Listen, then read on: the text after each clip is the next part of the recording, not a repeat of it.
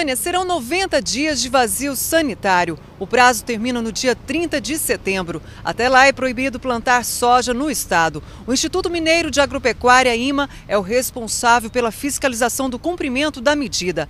O alerta é que os produtores cumpram a medida por se tratar de uma praga extremamente prejudicial à economia nacional. Aquele que não cumprir a legislação fica sujeito a multas, assim como nos anos anteriores.